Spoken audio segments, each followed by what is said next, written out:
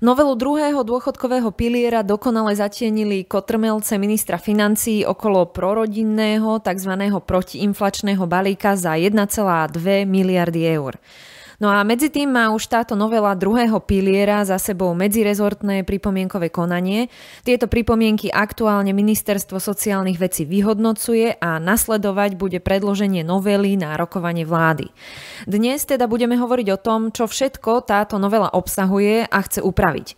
Zmena bola očakávaná a nevyhnutná po zásahu Ficovej vlády ešte z roku 2013, ale bohužiaľ prichádza aj so zásadnými nedostatkami.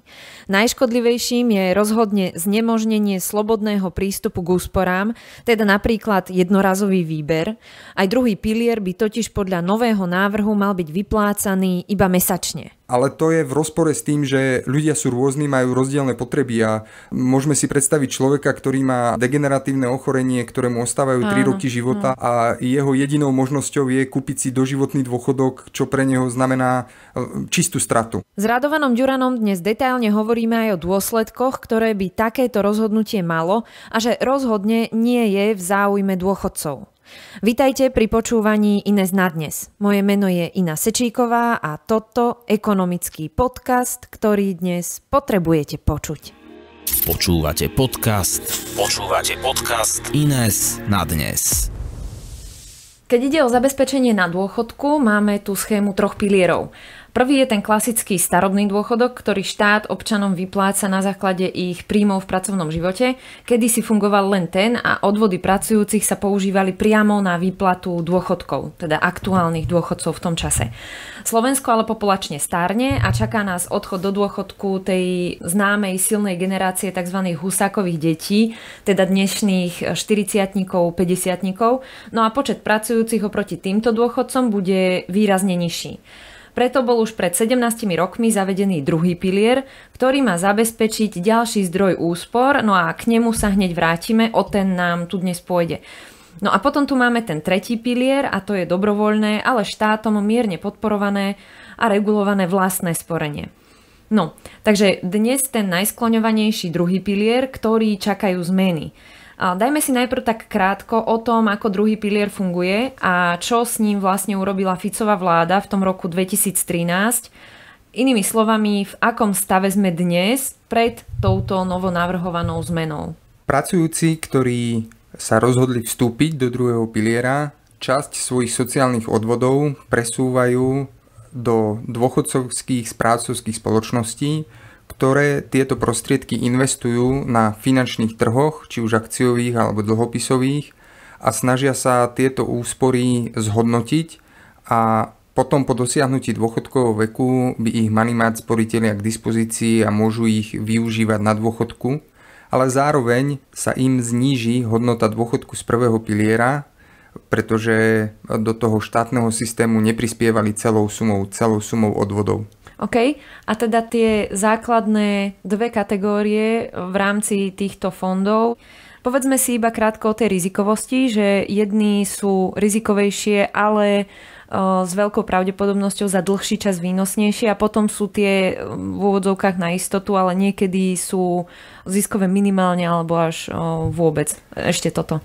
Sporiteľia môžu byť manažérmi svojich úspor, to znamená, že môžu sa rozhodnúť, či ich úspory budú investované v akciových fondoch, to znamená vo fondoch e, s väčšou rizikovosťou, ale s potenciálom vyššieho výnosu, alebo budú v tzv. garantovaných fondoch.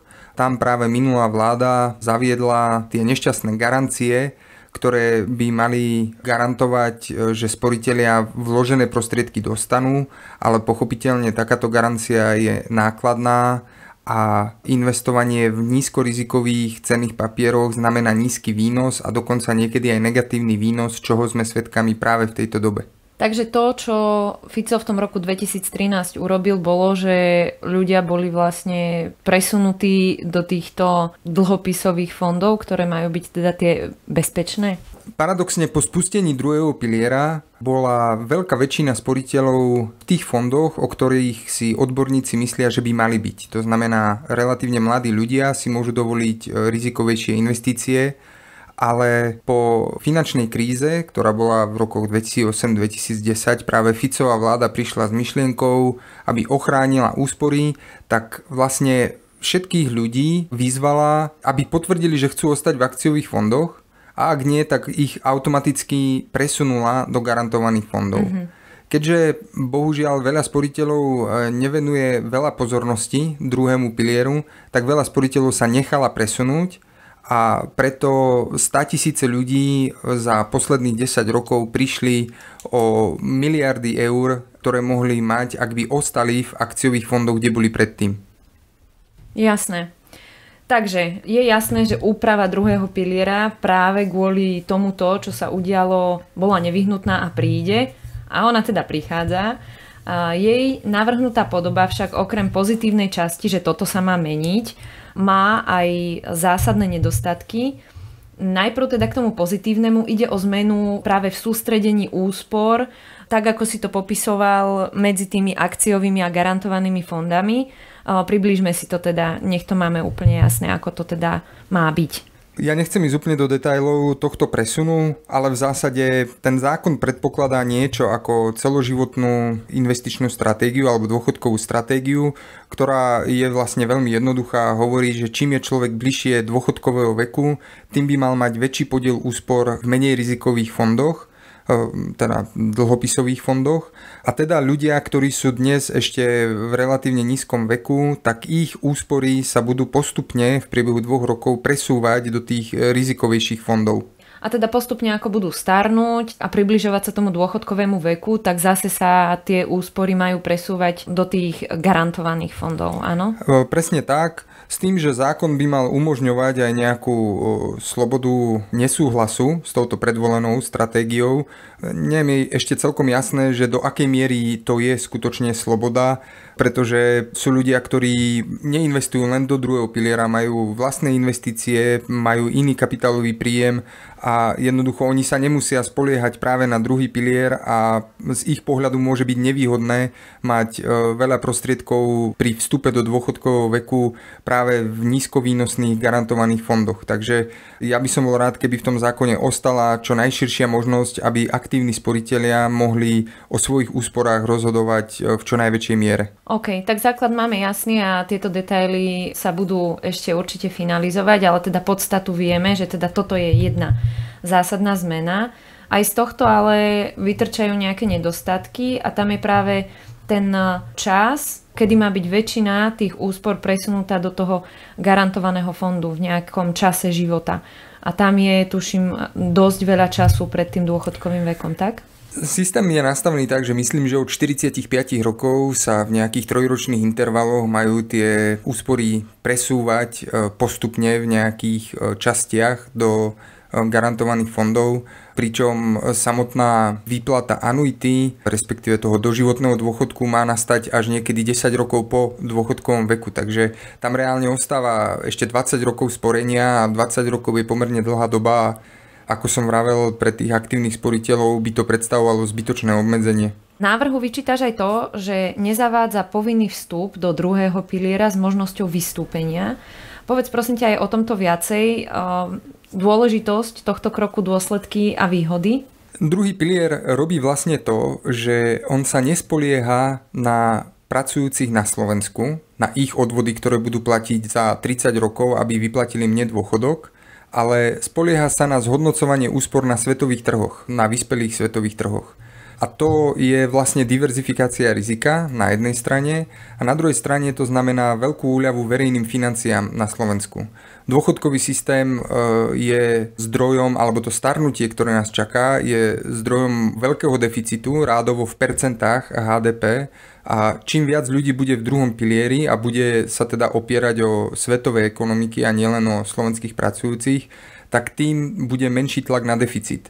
Takže z pohľadu verejných financií je dobré mať väčší druhý pilier a preto keby existoval takýto model, že sa človek môže rozhodnúť, že vystúpi, tak by bola vyššia účasť v druhom pilieri. A tak je to taká hojdačka. Najprv bol povinný vstup pre všetkých, potom to bolo zase s možnosťou vystúpenia, potom zase človek sa musel prihlásiť o svoj vstup, e, ale myslím si, že ten model, keď je defaultne nastavený vstup s možnosťou vystúpenia, že ten je najvýhodnejší. Jasné. No minusmi pokračujeme. V rámci zmien je cieľom aj ďalej znížiť poplatky indexových fondov, teda dôchodcovským správcovským spoločnostiam, DSS, ktoré ich poskytujú. No a znamená to, že by toto ďalšie znižovanie poplatkov mohlo dss zatlačiť až tak, že by indexové fondy prestali ponúkať úplne? Tak my už dnes máme jednu dss ktorá nemá indexový fond a ponúka iba akciový fond. A Prepač, keď... tu ťa musím zastaviť, ešte si povedzme rozdiel medzi indexovým a akciovým fondom. Indexový fond je vlastne pasívna správa. To slovo pasívna znamená, že investičný manažer toho fondu nevyberá konkrétne akcie, ktoré tvoria portfólio toho fondu, do ktorého potom sa sypú tie úspory, ale kopíruje podiel jednotlivých akcií v, v nejakom indexe a tým pádom tá správa je jednoduchšia. Ale aj samotný indexový fond e, alebo ten index, ku ktorému sa DSS rozhodne pripojiť alebo sledovať ho, vyžaduje nejaké rozhodnutie a vyžaduje aktívny prístup e, povedzme aj v zmene toho indexu. Preto si myslím, že odmena za úspešnosť, za úspešný výber toho indexu je na mieste. E, netvrdím, že má ostať v tej súčasnej výške, ale mala by tam ostať aj z takého prostého dôvodu, ak chceme pritiahnuť ešte teoreticky nejakú konkurenciu na slovenský trh v zhodnocovaní úspor, tak e, to sa určite nedá snahou zníženia poplatkov na úplné minimum alebo na nulové poplatky v prípade tých indexových fondov. Jasné. Už iba pre absolútne ujasnenie, ten indexový fond, dá sa to povedať tak, že je to vlastne taký balíček už nastavených rôznych akcií, pričom akciový fond je, že jednotlivo sa konkrétne typy akcií vyberajú. Áno. Dobre. No, asi jednoznačne najväčším nedostatkom, respektíve najškodlivejšou časťou novely je návrh na zákaz slobodného prístupu k úsporám. Po novom si sporiteľ totiž nebude môcť vybrať svoje úspory naraz, teda ak tento návrh prejde, ale bude nútený dostávať akúsi mesačnú rentu, že dnes platí, že človek s pravidelným dôchodkom z prvého piliera minimálne 510 eur sa môže slobodne rozhodnúť, ako bude úspory z toho druhého piliera čerpať a teda si ich môže vybrať aj jednorazovo. No a táto novela zákona by mu zakázala toto urobiť a snaží sa mu vlastne presne diktovať, ako má svoje úspory čerpať. Ako je to dnes? Tých, čo volia jednorazový výber úspor, asi nebude menšina, že? Dnes treba ale povedať, že tých ľudí, ktorí už sú v dôchodku a čerpajú svoje úspory z druhého piliera, nie je veľa. Bavíme sa o tisíckach, možno o 10 tisícoch, pričom okay. v druhom pilieri je 1,5 milióna ľudí. A teda ani hodnota ich úspor nie je tak vysoká, ale dve tretiny z nich preferuje tú možnosť jednorázového výberu, preferuje tú možnosť rozhodnúť sa, čo s tými peniazmi urobia a to znamená, e, že tá druhá možnosť, že si kúpia anuitu, to je ten doživotný dôchodok, to je vlastne ten proces, keď e, človek vymení úspory za kontrakt s poisťovňou, ktorá mu garantuje, že až do jeho smrti mu bude, mu bude vyplácať nejakú obyčajne rovnakú dávku. Tak toto nie je tak atraktívne pre tých sporiteľov. A je to tak, že teda koľko si tam ja našetrím, tak to mi rozdelia na nejaký počet rokov, alebo tam ešte niečo k tomu pridajú a stanovia ti nejakú fixnú sumu, trochu vyššiu, ako čo si mal mhm. našetrené? No v zásade tá poisťovňa dostane moje úspory na 20 rokov a tie úspory 20 rokov zhodnocuje a vďaka tomu zhodnoteniu ja vlastne dostanem, alebo mal by som dostať o trochu viacej, ako keby som si ich ja vyberal v rovnakých čiastkách počas tých 20 rokov, ale tak hlavne tá poisťovňa vstupuje do rizikového kontraktu, pretože jej sa môže stať, že ja sa nedožijem 20, ale 40 rokov na dôchodku a ona mm. musí tú dávku vyplácať celých 40 rokov. Jasné, jasné. Ale tak môže to byť aj naopak a vtedy je vlastne zisková, však áno. No celé toto poisťovníctvo je vlastne postavené na tom kmeňovom prístupe, že sa e, štatisticky počíta s tým, že niektorí žijú kratšie, niektorí dlhšie. Áno, jasné. No, ale najmä je to veľmi silný zásah do možnosti rozhodovať vlastne o svojom živote, a to bez nadsázky. Vlastne mi to pripomína, ako keby sme, že v záujme ochrany dôchodcov pred zraneniami im zakázali opustiť svoj pozemok, však veď chceme ich chrániť a prechádzky im dávkujeme pod nejakým velením vrchnej dôchodcovskej sestry. No, argument na toto je, aby mali dôchodcovia istotu, že budú mať stabilný príjem a teda istotu v tom vysokom veku, že budú mať dostatok financií na život a nestalo sa im, že pri tom nejakom jednorazovom neuváženom výbere sa ocitnú bez peňazí. No ale toto môže a s istotou aj bude mať pre veľa z nich presne opačný efekt, hoci to znie na prvú možno tak um, nejasne. Inými slovami, prečo je tak dôležité, aby slobodný prístup k úsporám bol zachovaný a neprevrátili sme to do tohto, čo je v tom návrhu? Najprv by som vysvetlil, že ako je to s tým prvým pilierom. Prvý pilier vypláca mesačné dávky a to robí preto, že nič iné nedokáže. Prvý pilier je proste prietokový ohrievač, kde pracujúci jeden mesiac prostriedky pošlu dnu a druhý mesiac sú tie isté prostriedky vyplatené dôchodcom. Aj keby dôchodca chcel a povedal, pozrite sa, potrebujem si zatepliť dom alebo potrebujem si inštalovať tepelné čerpadlo, prosím vás, vyplate mi trochu toho dôchodku viac dopredu, tak to proste možné nie je. A práve tento nedostatok, táto zlá vlastnosť priebežného piliera sa má preniesť aj do druhého piliera, čo považujem za veľmi nešťastné.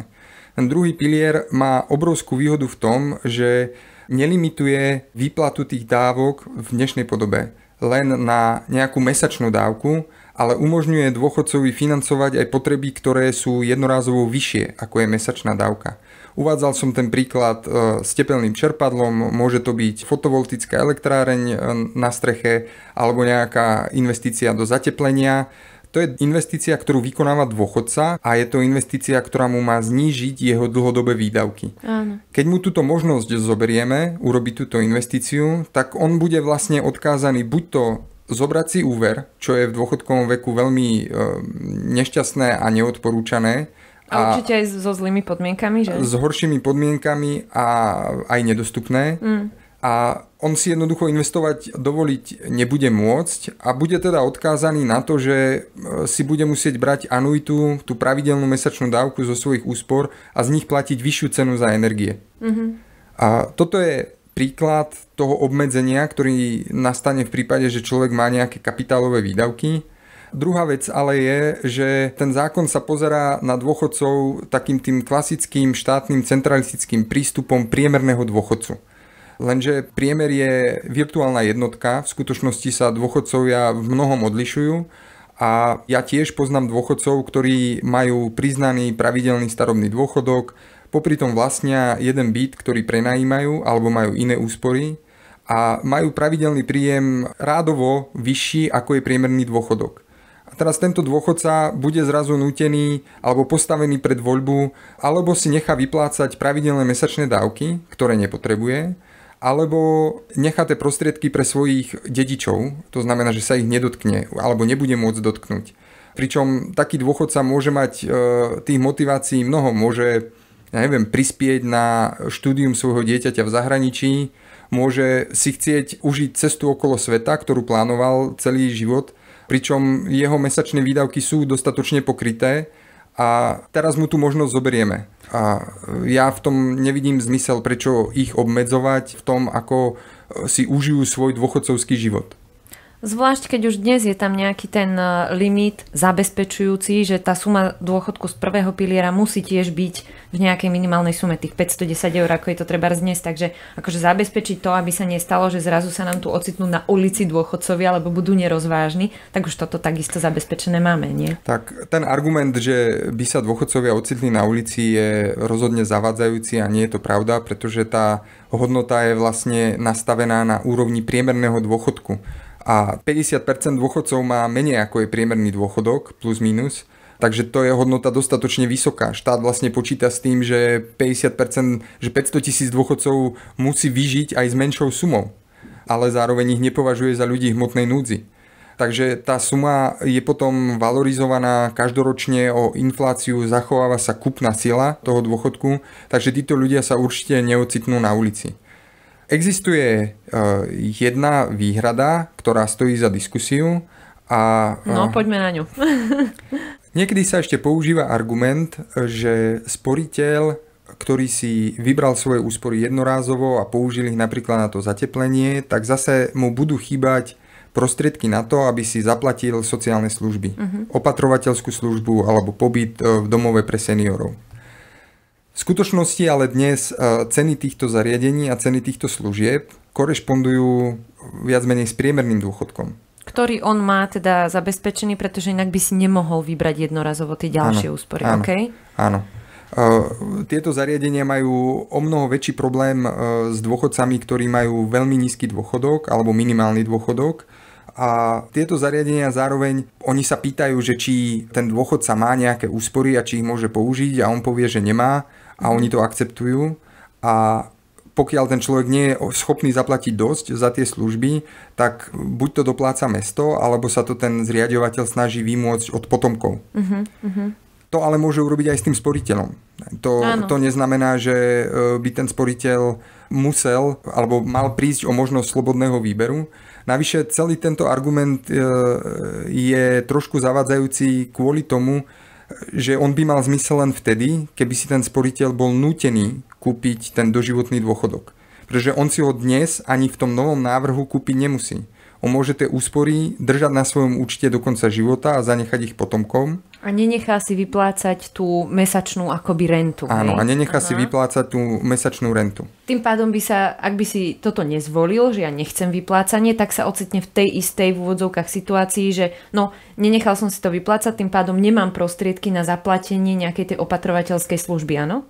Presne tak. Uh-huh. Uh, navyše a jemu, pardon, by sa nedalo teda siahnuť na tie úspory, ktoré tam má, lebo on nedá povolenie na to, aby sa mu vyplácala tá mesačná... Áno, presne uh-huh. tak. A navyše, keby chcel štát ako zaviesť to obmedzenie slobodného výberu z tohto dôvodu, tak myslím, že by bolo fér, keby štát ako kvantifikoval napríklad, ako často takáto situácia môže nastať.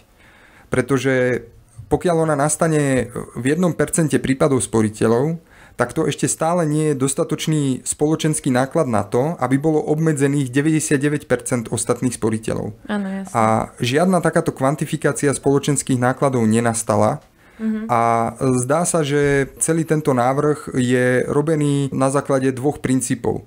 Ten princíp jedna je, že keďže druhý pilier vznikol odtrhnutím od prvého piliera, tak sa musí riadiť podmienkami prvého piliera. To znamená pravidelná mesačná dávka. Čo je nezmysel, lebo inak by nám stačil ten jeden prvý pilier, že áno. Tak, a to sme si vysvetlili. A ten druhý argument je, že nás nezaujíma úžitok dôchodcu, to, akým spôsobom on najlepšie využije úspory pre svoje potreby, ale... A zvyšok svojho života. A zvyšok svojho života, ale našim cieľom je e, šťastný dôchodca, ktorý má pravidelnú mesačnú dávku, aby mal tú mesačnú dávku čo najvyššiu ale to je v rozpore s tým, že ľudia sú rôzni, majú rozdielne potreby a môžeme si predstaviť človeka, ktorý má e, degeneratívne ochorenie, ktoré mu ostávajú 3 roky života a jeho jedinou možnosťou je kúpiť si doživotný dôchodok, čo pre neho znamená e, čistú stratu. A on vie, že je v tej strate a štát ho do toho bude nutiť vstúpiť do tejto uh-huh, straty, uh-huh. alebo ponechá tie prostriedky svojim potomkom, ale existujú ľudia, ktorí nemajú potomkov a nemajú ako dedičov, ktorým by to chceli odovzdať. Takže ako ako ten človek príde o celú hodnotu tých úspor. Áno, áno, áno. Alebo veľkú časť hodnoty tej úspor. Že štát sa snaží nadiktovať, čo je ten šťastný život dôchodcu, že tak to má vyzerať. A presne, akože mm, som rada, že toto zaznelo, lebo okrem toho, že sám sa rozhodnúť, čo teda urobím s tými svojimi našetrenými peniazmi, tak naozaj vo vysokom veku jednoducho tie choroby prichádzajú, bývajú náročné a toto je určite že veľmi podstatná časť, na ktorú netreba zabúdať. Ja ešte by som uviedol jeden príklad pretože u nás e, tie verejné sociálne služby nefungujú ako v Škandinávii, tak ako si ich predstavujeme vysmiatých detkov na terase, ktorí si užívajú 15 rokov dôchodku. U nás sa chodieva do zariadení pre seniorov častokrát bohužiaľ dožiť Áno. a e, ľudia tam ostávajú 1-2 roky. A, a s preležaninami a kadečo, to tiež poznáme. A kvalita tých služieb, ktoré sú vo verejnom systéme, je niekedy slabšia, niekedy vyššia, ale hlavne je ich nedostatok týchto mm. služieb. Existujú súkromné zariadenia, ktoré poskytujú nadštandardné služby a sú ľudia, ktorí vedia, že majú toho málo pred sebou, ale tieto zariadenia sú dvakrát tak drahé alebo možno aj trikrát tak drahé. A vtedy si chceš vybrať tie svoje peniaze. A vtedy si človek môže vybrať peniaze, priplatiť si ten nadštandard ale zákonodorca mu to teraz chce zakázať. Uh-huh, uh-huh. Mne to inak príde strašne aj zložité, jak si aj teraz popisoval tam tie možnosti, že prečo a aký argument, že veď tie podmienky, aké sú dnes nastavené pre ten druhý pilier, ak sa má akože myslieť na to, aby nedošlo k totálnej núdzi, že nemôžem si zaplatiť buď základnú existenciu, alebo teda takúto opatrovateľskú službu pre vysoký vek, kedy to vo veľa, akože väčšine prípadov prichádza do úvahy, tak to tam už predsa zabezpečené v tom dnešnom znení je, tak je tam ten limit 510 eur z prvého e, piliera a potom sa už rozhodnete podľa seba. Že ja vôbec nerozumiem, prečo sa vôbec toto otvára. Je to asi motivované tým, že úradníci na ministerstve práce vychádzajú z toho, že ľudia sú finančne nezodpovední. No, ja s tým nesúhlasím. Myslím si, že po prekonaní dôchodkového veku sa z ľudí stávajú veľmi zodpovední ľudia. Videl som to na vlastných starých rodičoch, na svojich rodičoch to vidím aj e, okolo seba. Dôchodcovia sú cenovo veľmi citliví a e, vyberajú si, do akých záväzkov vstupujú a nevstupujú ale jednoducho štátni úradníci majú pocit, že táto zodpovednosť tam nie je a chcú zabrániť situácii, že nejaký dôchodca si tie peniaze vyberie a kúpi si Ferrari. Uh-huh. Miesto toho, aby myslel na svoje zabezpečenie. Že chcú tomuto predísť.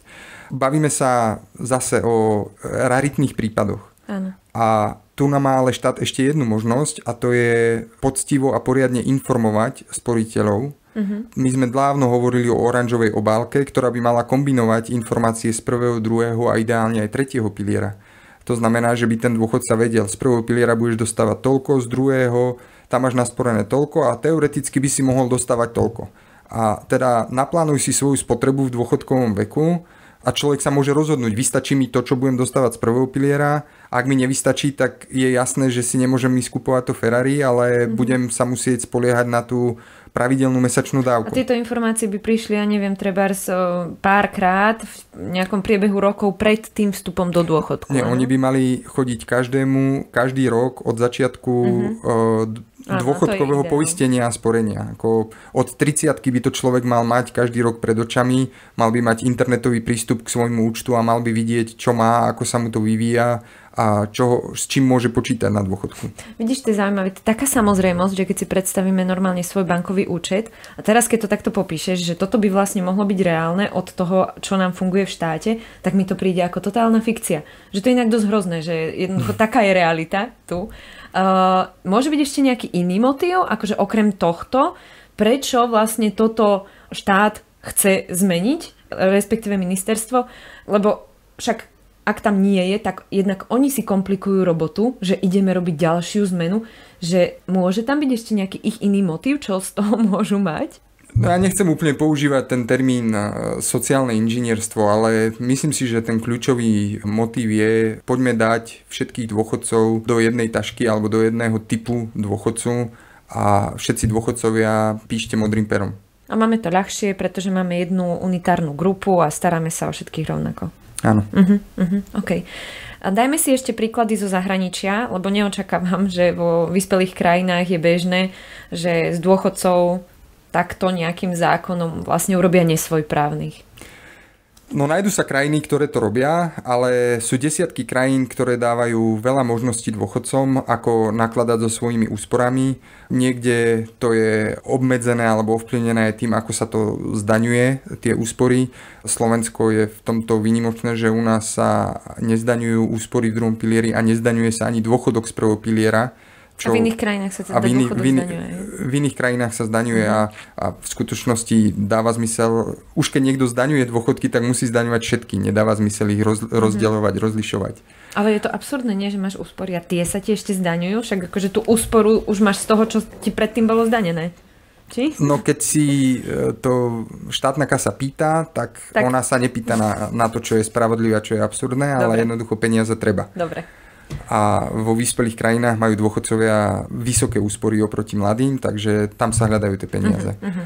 Ale je veľa krajín, ktoré dokonca podporujú sporiteľov v tom, že si môžu vybrať jednorázovo či už celú sumu alebo čas svojich úspor a na stránkach austrálskej vlády dokonca nájdete odporúčania, ako použiť túto jednorázovú sumu, túto jednorázovú výplatu, či už je to na doplatenie zvyšku hypotéky, čo pre veľa dôchodcov dáva zmysel, pretože si tým automaticky znížia svoje mesačné náklady, Áno. alebo je to práve rekonštrukcia e, ubytovania, alebo môžu časť tých úspor použiť na, ak majú ešte aj iné úspory, na nákup toho investičného bytu, ktorý im bude vynať pravidelnú mesačnú rentu a zároveň sa im zachová hodnota tej investície alebo sú to proste veci, na ktoré si chceli šetriť na dôchodok a chcú si ich konečne užiť. Alebo chcem podporiť svoje deti, lebo napríklad teraz riešia, že hypotéky sú šialene vysoké.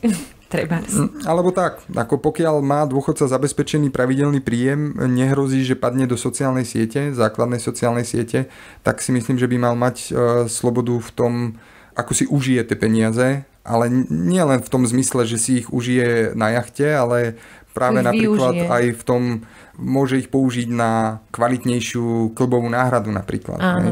Že sú zdravotnícke zákroky, kde si môže človek priplatiť za nejakú lepšiu formu alebo kvalitnejší, trvanlivejší produkt.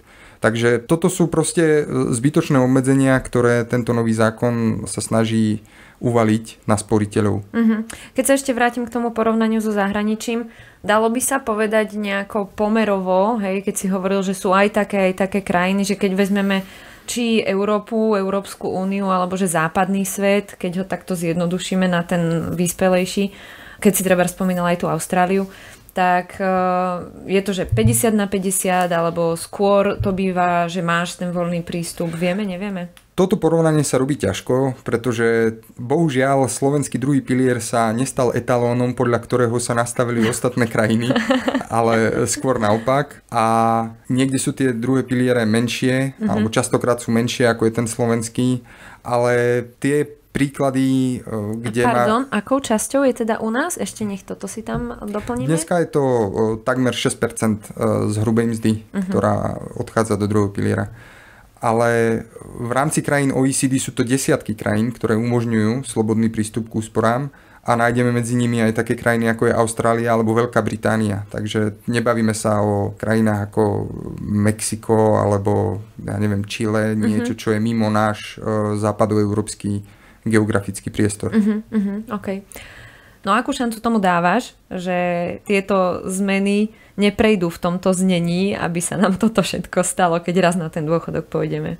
To je otázka koaličnej rady v podstate, pretože k slobodnému prístupu k úsporám má pochopiteľne blízko e, strana SAS. Mm-hmm a ostatné strany milujú pravidelné mesačné dôchodky a, a rodiny a starostlivosť o dôchodcov, takže tam neočakávam, že by zmenili názor na mm-hmm. túto tému. Takže podľa toho, jak dopadne koaličná rada, no ja dúfam, že uh, sa to podarí zachovať. Mm-hmm. Tak verme tomu a šťastný dôchodok.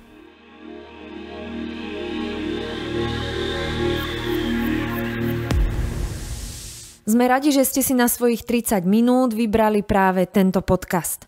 Vytvárať nielen podcasty, ale najmä analýzy, komentáre a návrhy potrebných legislatívnych zmien dokážeme len vďaka vašej podpore. Budeme vám preto veľmi vďační, ak zvážite možnosť podporiť Ines. Návod, ako to urobiť, nájdete na našom webe ines.sk v časti Podporte nás. Ďakujeme. Každú vašu podporu si veľmi vážime. Počúvali ste podcast Ines na dnes. Všetky ďalšie diely nájdete v podcastových aplikáciách a na YouTube kanáli Ines.